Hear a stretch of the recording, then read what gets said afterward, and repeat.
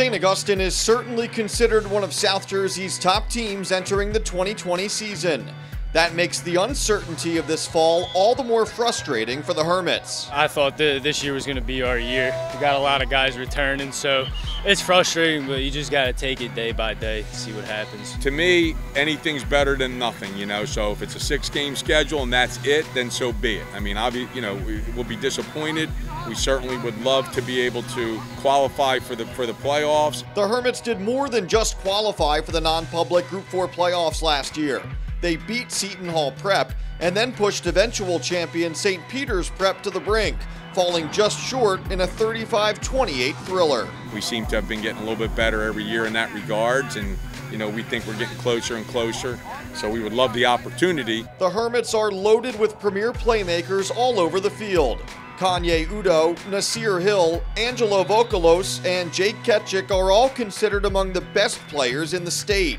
St. Augustine has morphed from a team hoping to make noise in the playoffs into a legitimate state championship contender. We hope we can have a playoff. Hopefully, this stuff dies down so we can go to the playoffs and prove that we're a championship caliber team and that we can mess with the big dogs up north and that we're the number one team in the state. We want to play, and any games we can get in is going to be great.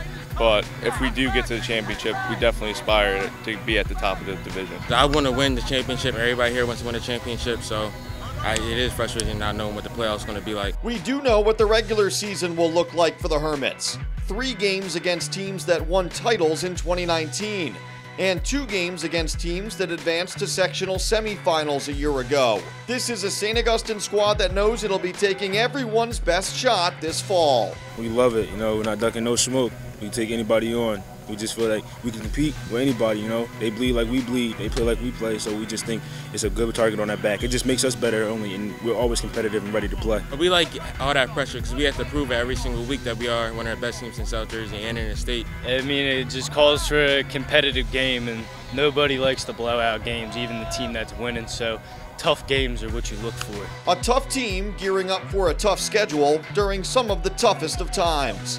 Adversity is a given in 2020.